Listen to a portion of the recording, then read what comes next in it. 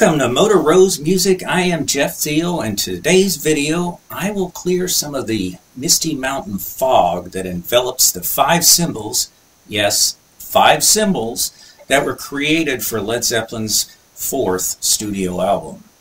I decided to do this video after I watched a good video about this album, and the word Zoso was used to describe Jimmy Page's symbol.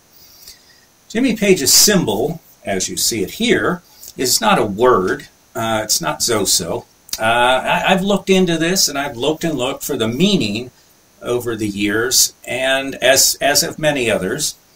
I had been a Zeppelin fan since 1982, and yes, that's a long time.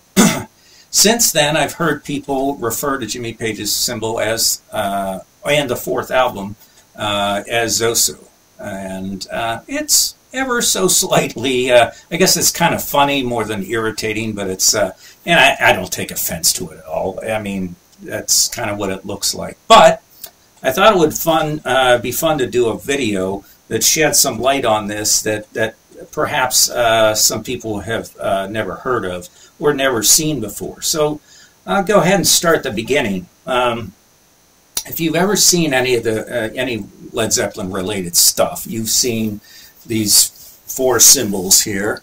And let's see, hopefully it gets them all. We don't want to miss Plant's, but there you go. And I'll be uh, putting up some pictures of them as we go along here and talk about them. Uh, so you've definitely seen these symbols. Uh, the band's four symbols, or sigils as they're sometimes called, were obviously chosen before they started uh, recording the album. I, I, think it was probably they picked them out when they were as they were recording it. And the choosing of these symbols was Jimmy Page's idea. Uh, back in 1971, uh, as they were working on this album, they, they'd been getting hammered by the press for, for years now, uh, either not saying nice things about their songs or them themselves, or just saying generally that they were hype. And uh, so Page came up with the idea for this fourth album to not have the title of or just not have a title and not have the band's name anywhere on it. This, of course, being the iconic fourth Led Zeppelin album.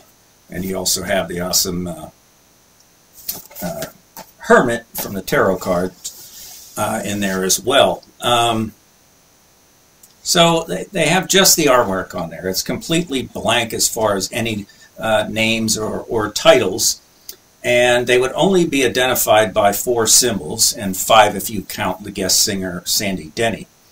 Uh, but this also created a dilemma for us fans. What the hell do we call it? You know, there's nothing on it. It's it is their fourth album, but you know what what should we call it? Uh, I'll tell you what I call it towards the end of the show here, and but most people call it Led Zeppelin 4, and uh, some call it Four Symbols, and then others, as I've said, call it Zoso. Uh, and again, it's it the, the, symbol is not a word. And so let's get back to the story here. Uh, in Page's brilliant mind, uh, this would prove, assuming it sold well, that the album was selling because it was the music, not the name on the album, not the hype of the band. Uh, and to combat the issue of what Billboard uh, and Cashbox, those are the you know the uh, sales of the week lists that are that are still out today. At least Billboard is. They sent out these four symbols so they could put in the four symbols as the name of the album.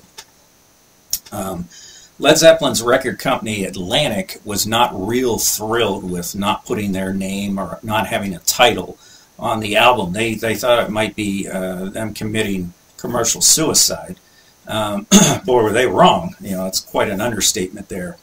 Uh, Zeppelin's untitled fourth album has sold uh, about 25 million plus albums just in the United States alone. Uh, their worldwide sales are, I, I would guess, double that.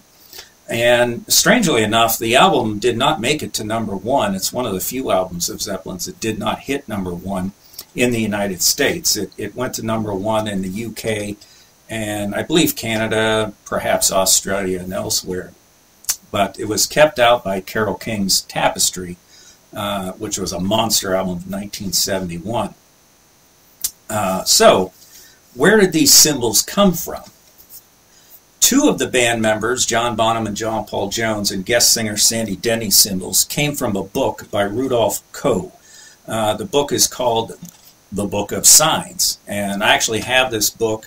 I uh, got a little while ago. It's it's a great book. It's really interesting to see where all these these symbols from you know centuries ago, uh, if not where they came from, at least what their meanings were. A lot of them you've seen before. Um, a lot of them religious uh, symbols, and you know, eh, you know, they there's a wide range of meanings behind them, and they're interpreted differently. But that's where John Bonham, John Paul Jones, and Sandy Denny's symbols came from. And when I look through the book, the first one that comes up in the book is Sandy Denny's, and I'll place it all this stuff on the screen here as we go along. Hers is the three triangles, and they're all touching at a central point. And this is an old symbol for the Godhead. That's, Godhead is what it's what it's called. And nothing else is known about. There was no information there. It's just said nothing else is known. We really don't know why she picked it or if she even had the the choice to pick it. It's just there. It's kind of like an asterisk that shows that uh, she was the guest on the great song Battle of Evermore. Uh, now, she was also in a band called Fairport Convention, uh, I know through the 70s, and she sadly died in 1978, uh, really early death. Um, the next symbol that shows up in Koch's book is John Bonham's, and uh, this is the three interlocking uh, circles. Uh, it's described as a sign of the Trinity, which, you know, Father, Son, Holy Ghost, or Holy Spirit, uh, depending, I guess, what denomination of Christianity you are. Uh, but Bonzo, he may have been thinking father, mother, child uh, when he saw it. Or as Robert Plant said, he noticed in Pittsburgh they were drinking Ballantine beer, and that's its logo, although it's inverted. I'll see if I can find that. I'll place it in here if I find it. Uh, next is John Paul Jones's symbol. And as I, I, put two in here, and reason being they're very similar, um, and they're both said to be used to exorcise evil spirits. And uh, they call for a certain skill, and that a clumsy person can't draw them. Very fitting for Jonesy. Uh, Robert Plant's symbol is said to be a sacred symbol from the ancient Mu civilization. Uh, Plant stated uh, it stands for courage and truth uh, to various philosophies. Didn't find anything else on that. Uh, there's feathers used as symbols through all different types of uh, civilizations, but I haven't found one that looks exactly like his, but I'll take his word for it. That's where he got it from. Uh, so next up is the hard one, Jimmy Page's. Here's the big mystery. He has never publicly said where he got it from, and more importantly, what it means to him, or what it means in general to other people. Uh, he's never said so. And uh, it's been seen in a few texts and a few manuscripts. I have a book that I got in Kindle format called Grimoires. This is in French, and I don't speak French. Grimoires et, et Rituals Magiques. That's the best I can do. Obviously, it's some grimoires, rituals of magic, something to that effect. Uh, and as I said, the book is in French, so I, I just look at bits of it, and then I have Kindle uh, translate it for me. So it's a slow go as far as reading the whole book. But there's also in there, which is it could come in handy. They do uh, they do tell you how to summon demons. I don't think I'll try that. Um, I also have this uh, January 2002 uh, Guitar World magazine.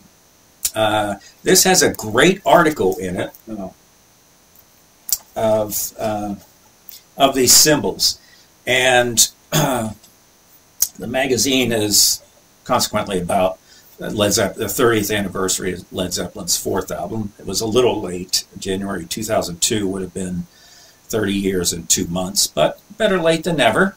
And uh, they talk about uh, a the, the man who did this article about a rare manuscript called the Red Dragon or Le Dragon Rouge. Again, it's in French, and but their symbol um, is is inverted. Their Page's symbol in there, the symbol he uses is inverted. It's upside down from the way we're used to seeing it. Now, in my Grimoires book, this symbol is as as we see it here, and I'll place those uh, up on the screen so you can see them how they are in these books. Uh, so, the first was the the uh, the one from the Grimoire book, and now I will place the one from this magazine that comes from the Red Dragon manuscript. Now, why they're different, I don't know. It, it doesn't say why it, the one's one way, one's the other. It just is. The other symbols I see in the picture seem to be in their uh, normal disposition. They're, they, they seem to be um, the way they're supposed to be. Uh, but what I do know is, at least what is stated, that all of these symbols that you see are related to Saturn. Okay, and I will put uh, Saturn's symbol up here now, and you can see what that looks like. And see, it's kind of similar to a couple of the other symbols that are in the other two pictures that I showed before. Now, it be re being related to Saturn makes sense because Jimmy's astrological sign is Capricorn. And as research has told me, the planet Saturn rules Capricorn. Strangely, in the Grimoires books, uh, it states, for Saturn applied to Saturday. Now, I say it's strange because I read a quote years ago uh, when Jimmy Page was asked about his symbol. He said it was related to Thursday, which is also known as Thor's Day. Hammer of the Gods, anyone? which is what Jupiter applies to according to the Grimoire book. Uh, Jupiter applies to um, Thursday. Uh, my only guess there is Jimmy Page is probably trying to throw us off. They're close enough uh, related, plus it does have the, the Thor thing, the Hammer of the Gods thing. So, But that's Page being Page. Uh, so this pretty much settles perhaps where he got it from. From one of these, it's either from uh, my book. They're both old text uh, reprints from old text. The the the Red Dragon, I believe, is a manuscript that supposedly is from the 16th century. Uh, I've read some places that said um, it's really from this early 17th century, and it was just said to be back from the 1500s, the 16th century. But who knows? Um, there's not a great detail, however, on uh, on the individual uh, symbols. Uh, they all just represent Saturn as far as the um, uh, I'm going back a little bit. As far as the ones that are in there, they're all kind of related to Saturn. We don't know exactly what all those symbols mean. We don't know what this symbol means other than it's related to Saturn and I could see Jimmy Page kind of going to Saturn. He knows it's uh, you know rules over Capricorn, so he went there, saw this thing, said, "Whoa, that's cool. I'm using that." If I had to guess, that would be the reason behind it. I mean, he had a good reason. Saturn Capricorn connection. I'm guessing that's why he picked this. Out of all those, this is definitely the coolest one. So, uh, my research and spending money on uh, demon summoning books has has come to this conclusion. I know where he could have gotten it, uh, where he could have gotten it from, and what it relates to. However, we still don't know exactly what it means, other than it's related to Saturn. So I was just trying to recap my clumsy statements beforehand. As far as what I call Jimmy Page's symbol, it's that. Jimmy Page's symbol. Uh, you know, it's like Bonham's symbol. I don't call it uh, three circles. I call it Bonham's symbol. I call Jones's Jones's symbol and Plant's, so forth. Uh, the album itself I call... No, I'm just kidding. I call it Led Zeppelin 4, just like every other sane person in this world. Uh, an album that good has to have a title. It can't go untitled. So I, it's it's called Led Zeppelin 4. That's what the Zeppelin guys call it. So anyways, I hope you enjoyed this video. I hope uh, you know you found uh, it had some good information in it. If you have any input, if you have any info, or perhaps you have uh, maybe a, a, a, a, copy, a good copy of one of these books, or know where to find that Red Dragon manuscript.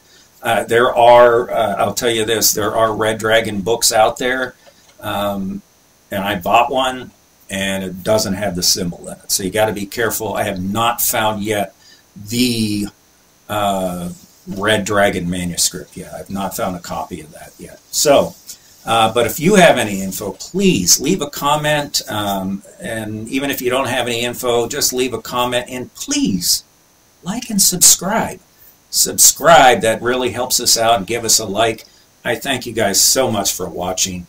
We'll see you later.